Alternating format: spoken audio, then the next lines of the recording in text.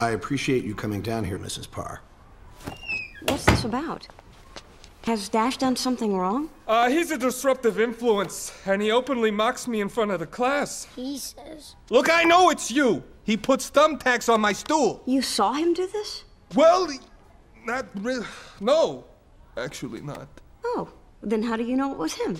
I hit a camera. Yeah, and this time I've got him.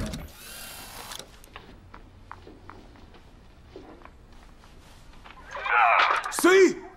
You see? Well, you don't see it? He moves! Right there! Wait, wait! Right there! Right as I'm sitting down! I don't know. I don't know how he does it. He, but, but, but there's no tack on my stool before he moves, and after he moves, there's a tack. Coincidence? I think not! Uh, Bernie, Don't Bernie me! This little rat is guilty!